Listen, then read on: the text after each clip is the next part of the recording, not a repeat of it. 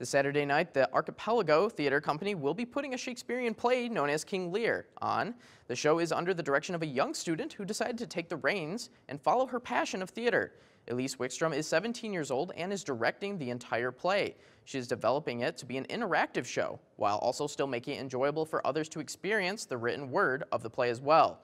Her goal is to make the play suitable for all ages and bring a different style of telling a story to the stage.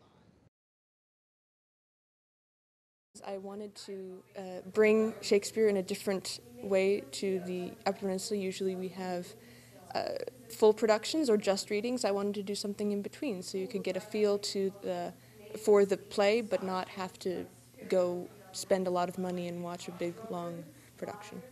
You know, people from the audience are actually going to be called up onto the stage to be part of the show. Um, and so we're going to have some really experienced actors up there and some quite inexperienced actors up there and everybody in between. So I think it's going to be a really exciting evening of theater. The event will be held at the Marquette High School on September 22nd at 6 p.m. The production of King Lear will only be performed once, so make sure you get out and support the local arts this Saturday evening in Marquette.